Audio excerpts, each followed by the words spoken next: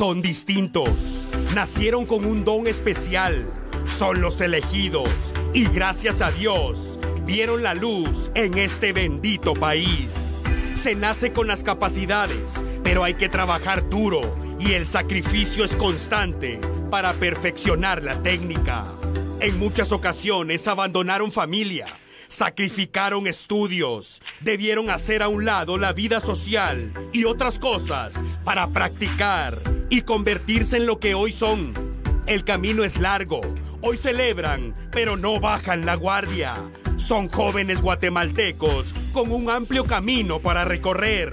Están orgullosos de su país, entonan el himno nacional con energía y su piel se eriza cuando ven ondear la bandera que los representa. Los atletas guatemaltecos, los héroes, lo hicieron de nuevo. Partieron a Colombia con maletas llenas de sueños y vuelven a casa con cosecha amplia, con la frente en alto, porque saben que jamás pasarán desapercibidos. Gracias, héroes. Gracias por llevar a lo alto el nombre de Guatemala. Y perdonen también porque muchas veces les hemos fallado como sociedad. Nos fijamos en tantas cosas sin sentido. Hacemos escándalos en las redes sociales por tonterías y olvidamos que ustedes existen. Este es el momento para que quien tenga la responsabilidad de inyectar fondos económicos para estos atletas lo haga, lo haga con orgullo, que lo haga porque pese a las dificultades, ahí están una vez más los atletas demostrando de qué están hechos.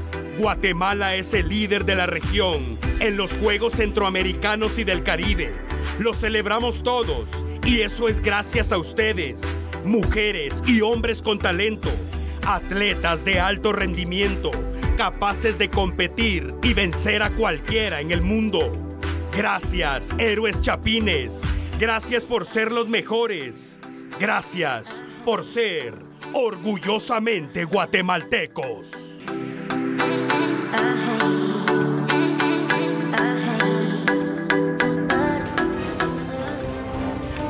Noches amigos televidentes y coincidimos en que nos encanta abrir esta emisión con esta nota, con esas imágenes que a nosotros nos hace erizar la piel, Pablo, y sentirnos realmente orgullosos de estos atletas guatemaltecos y de ver cómo representaron también a nuestro país y la forma en que solo T13 Noticias sabe llevarle esta información a usted en casa. Así es, Corina, de verdad muy felices porque ha sido increíble el, el desenvolvimiento de nuestros atletas en Barranquilla, Colombia, así que enhorabuena posicionándolos, como nos decía la nota, en lo más alto de Centroamérica. Así, Así que de verdad muchas felicidades. Vamos a